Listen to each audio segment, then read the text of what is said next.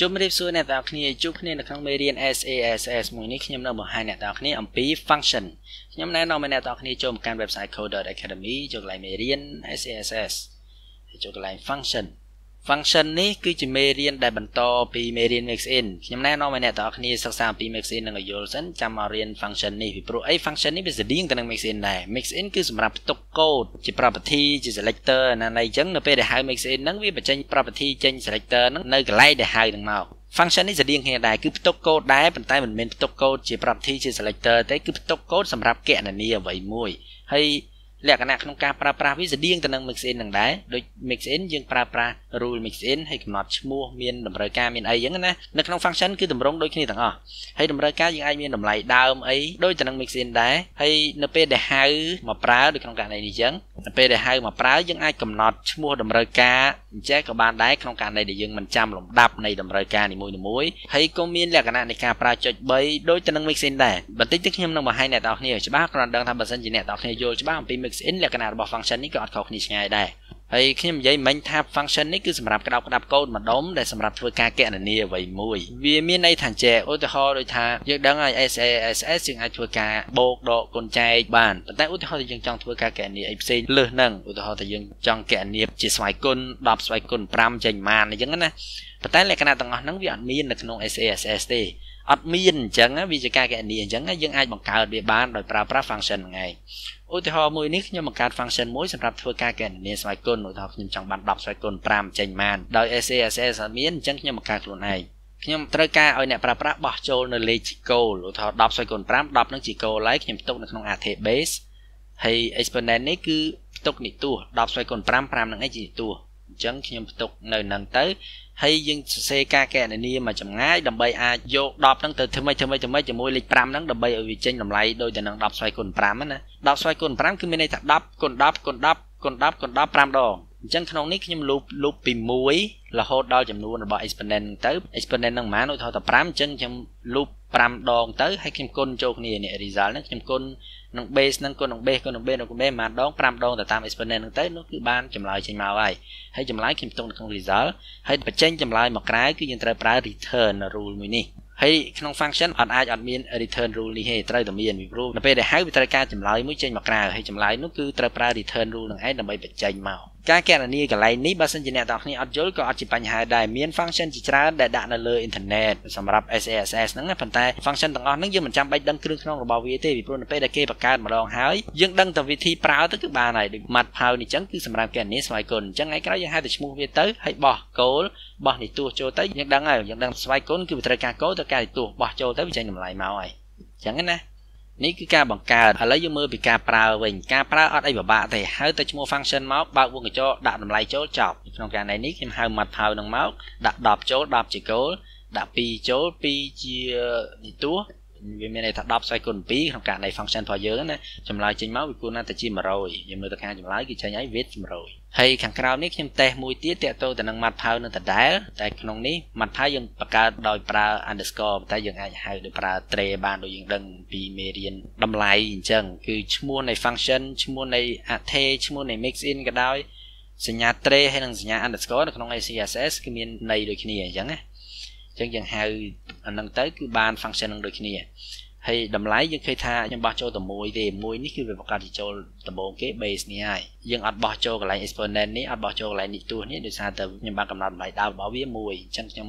សេចេះវាដូចតែខ្ញុំសេចេះអញ្ចឹងនេះមួយអញ្ចឹងណាអញ្ចឹង20ស្វ័យគុណ1ចេញប៉ុន្មានចេញ20ដែរខ្ញុំមើលទៅខាងចម្លើយគឺចេញ20 ហើយខ្ញុំបូក 0px នេះដោយសារតែយើងកណនានេះវាអត់មានຂະຫນាតទេ10សេគុណ2ចេញ100ប៉ុន្តែខ្ញុំចង់បាន100 px ដើម្បីបាន px យើងអាចបូក 0px ទៅពួកបូកຂະຫນាតអីវាចេញຂະຫນាតនឹងឯង 10px បូក5វាចេញ 15px របស់ដែលអត់ຂະຫນាតវាអត់គិតទេវាយកតាណាមានຂະຫນាតយកຂະຫນាតតែមាននឹងហ្មងអញ្ចឹងណា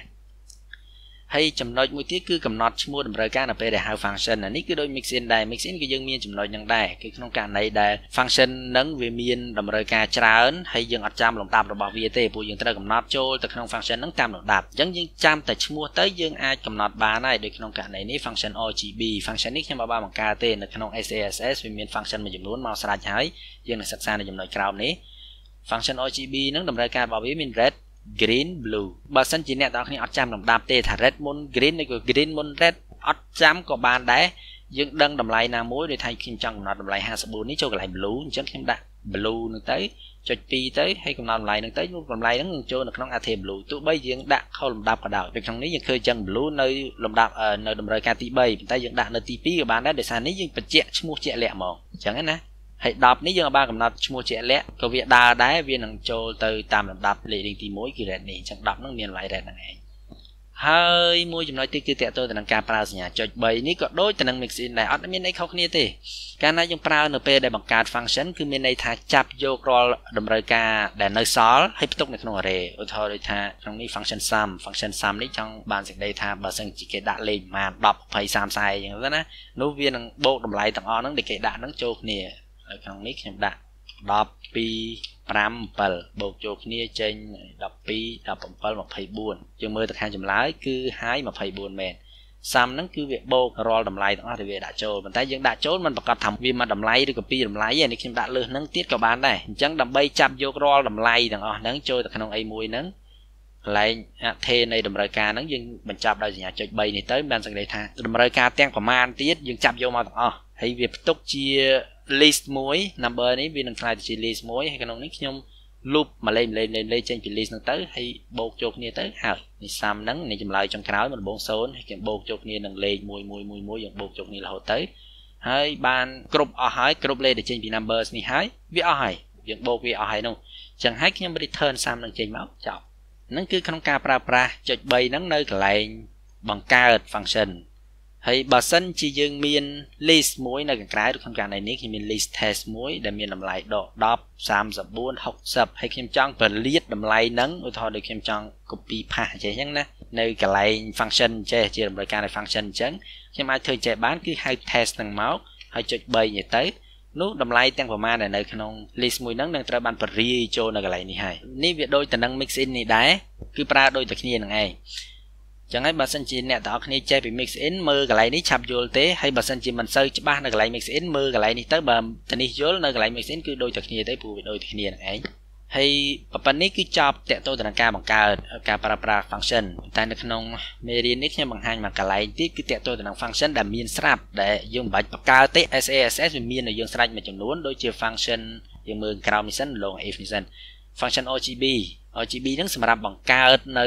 ពណ៌ ពណ៌ដូចយើងដឹងអញ្ចឹងយើងអាចដាក់ជា hex color ក៏បានយើងអាចដាក់ជា RGB ក៏បាន HSL ក៏បាន RGBA ក៏បាន HSLA ក៏បានឬក៏ឈ្មោះក៏បានឈ្មោះនៃពណ៌ក៏បានប៉ុន្តែ RGB កន្លែងនេះកាលណាយើងដាក់តម្លៃ red green blue ចូលទៅក្នុងទៅវានឹង return មកវិញជាពណ៌ដែរប៉ុន្តែពណ៌ជាទម្រង់ hex ឧទាហរណ៍ថាចេះខ្ញុំ test ចេះចុះខ្ញុំ color RGB កន្លែង red ខ្ញុំដាក់25កន្លែង blue green ខ្ញុំដាក់0 blue ខ្ញុំដាក់0ដែរអញ្ចឹងវាក្រហមសុទ្ធក្រហមសុទ្ធតែយើងឃើញថាចម្លើយចេញមកអនេះគឺវាចេញពាក្យហ្មងអានេះក្នុងករណីបើសិនជាវាមានជាពាក្យវាបញ្ចេញពាក្យបើសិនជាអត់មានជាពាក្យទេវានឹងចេញជា hex ឧទាហរណ៍តែកន្លែងនេះខ្ញុំដាក់1ឬគឺចេញនេះ hex color អញ្ចឹងណា RGB ហ្នឹងគឺប្រើអញ្ចឹងឯងហើយវាមាន RGBA ដូចគ្នាកាលណាយើងប្រើមួយ HSL វាបំលែងទៅជា RGBA ដូចជាអត់មាន hex ទេ ខ្ញុំសាកទីមើល0.1 RGBA អូឃើញថាចេញមក RGBA ហ្មងដោយសារតែនៅក្នុង web browser ចំនួនចាស់កន្លែង A នេះ alpha ហ្នឹងគឺអត់មានទេហើយក៏វាអត់អាចបំលែងទៅជា hex ដែរព្រោះ hex ដូចជាអត់មានកន្លែង alpha ហ្នឹងទេបើមានក៏នៅ web browser ចំនួនចាស់អត់មានដែរ ហើយដូចគ្នានឹងដែរពណ៌ប្រភេទ HSL នេះគ្រាន់តែប្រភេទពណ៌ទេដូច RGB ហ្នឹងមកប្រភេទពណ៌ HSL នេះមកប្រភេទពណ៌ HSLA ក៏វាមកប្រភេទពណ៌ផ្សេងទៀតដែរ HSL ហ្នឹងហើយមាន alpha ពីក្រោយតាក់ទងទៅនឹង3 4នេះគឺប៉ុណ្្នឹងឯងអត់អីពិបាកយល់ទេព្រោះយើងធ្លាប់ដឹងខ្លះខ្លះហើយអំពីពណ៌ RGB នៅក្នុងមេរៀន CSS ណាឥឡូវយើងមើលមកចំណុចទៀតតាក់ទងទៅនឹង function if if ដូចយើងធ្លាប់រៀននៅក្នុងមេរៀនលក្ខខណ្ឌនេះអញ្ចឹងគឺកូដមួយដុំហ្នឹងនឹងដំណើរការនៅពេលដែលលក្ខខណ្ឌត្រឹមត្រូវ តែហ្នឹងកូនម្ដុំពេលខ្លះយើងអត់ចង់បានឲ្យវាដើរម្ដុំទេយើងចង់ឲ្យវាដើរបន្តិចទេនៅក្នុងករណីនេះបើយើងចង់ដើរបន្តិចគឺយើងអាចប្រើ function if នេះបានយើងសេលក្ខខណ្ឌនេះទៅខាងមុខនេះនៅតម្រូវការទី1ហ្នឹងក្នុងករណីដែលលក្ខខណ្ឌនេះត្រឹមត្រូវនោះកន្លែង function if ហ្នឹងនឹងបញ្ចេញមកវិញនៅតម្លៃដែលយើងសេនៅកន្លែងតម្រូវការទី2បើសិនជាលក្ខខណ្ឌនេះមិនត្រឹមត្រូវទេនោះវានឹងចេញតម្លៃដែលយើងសេនៅកន្លែងតម្រូវការទី3នេះយើងមើលកន្លែងឧទាហរណ៍បន្តិច អ្នកទាំងគ្នាមើលឧទាហរណ៍នេះក៏បានដែរឥឡូវខ្ញុំដូរពណ៌ទៅនេះតិចស្រួលយល់ light color នេះខ្ញុំដាក់អាក់វ៉ាចចនេះខ្ញុំចង់ឲ្យយើងចែកបើសិនជាផ្ទៃពណ៌ខៀវខៀវនេះវាពណ៌ដិតអញ្ចឹងណាអញ្ចឹងយើងត្រូវការពណ៌ អក្សររាងស្រាលមិនយើងមើលឃើញប៉ុន្តែបើសិនជាផ្ទៃពណ៌ស្រាលវិញឧទាហរណ៍ថាពណ៌ទឹកសមុទ្រវិញពណ៌រាងស្រាលវិញអញ្ចឹងអក្សរត្រូវពណ៌ដិតវិញមិនមើលឃើញអញ្ចឹងណាអញ្ចឹងពណ៌ដិតពណ៌ស្រាលហ្នឹងពណ៌ស្រាលខ្ញុំដាក់នៅក្នុង light color ពណ៌ដិតខ្ញុំដាក់នៅក្នុង dark color ហើយមួយនេះខ្ញុំដាក់ជាលក្ខខណ្ឌមួយថាពេលហ្នឹងយើងចង់ប្រើពណ៌ដិតឬក៏ប្រើពណ៌ស្រាលបើសិនជាវា true បានសេចក្តីថាយើងប្រើពណ៌ស្រាលហើយក្នុងករណីនេះខ្ញុំពិនិត្យមើលហើយប្រសិនបើ use color នឹងតម្លៃ true បានតែយើងប្រើពណ៌ស្រាលបើប្រើពណ៌ស្រាល color នេះសម្រាប់ដាក់ ពណ៌លើអក្សរអញ្ចឹងខ្ញុំពណ៌អក្សរវាត្រូវតែពណ៌ដិតប៉ុន្តែបើសិនជាពណ៌ស្រាលទេនោះពណ៌អក្សរយើងត្រូវប្រើពណ៌ស្រាលវិញហើយ background នេះវាផ្ទុយពីនឹងបើសិនជាប្រើពណ៌ស្រាលនោះចង់បានសេចក្តីថា background ហ្នឹងពណ៌ស្រាលហ្នឹងឯងពណ៌ទឹកសមុទ្រអីអញ្ចឹងហ្នឹងឯងហ្នឹងអញ្ចឹងខ្ញុំបញ្ចេញមកវិញនៅពណ៌ស្រាលហ្នឹងឯងបើមិនមកខ្ញុំដាក់ទៅនឹងទៅជាប្រើពណ៌ក្រាស់វិញអញ្ចឹងឲ្យចេញតម្លៃចេញពីពណ៌ក្រាស់នេះយើងមើលទៅខាងចម្លើយគឺឃើញហើយក្នុងករណីនេះប្រើពណ៌ស្រាលរបស់យើង use light color នេះខ្ញុំដាក់ fall អញ្ចឹងវាប្រើពណ៌ក្រាស់ នេះបានយើងឃើញ background ពណ៌ Q ក្រាស់ Q រៀងឆ្អកអញ្ចឹងណាហើយពណ៌អក្សរគឺពណ៌ស្រាលវិញឥឡូវខ្ញុំដូរដាក់ទៅជា true វិញនេះឃើញថាពណ៌ background ពណ៌ស្រាលពណ៌អក្សរពណ៌ក្រាស់វិញវាអញ្ចឹងឯងក្នុងការប្រើ if បើលក្ខខណ្ឌនេះពិតវាបញ្ចេញនៅតម្លៃនៃតម្រូវការទី1បំពិតទេចេញតម្លៃនៃតម្រូវការទី2អញ្ចឹងណាចប់ហើយតើតើនឹង function អ្វីដែលខ្ញុំចង់បង្ហាញនៅក្នុងវីដេអូនេះក៏មានតែប៉ុណ្្នឹងឯងចាំជួបគ្នានៅវីដេអូក្រោយៗទៀតអរគុណជម្រាបលា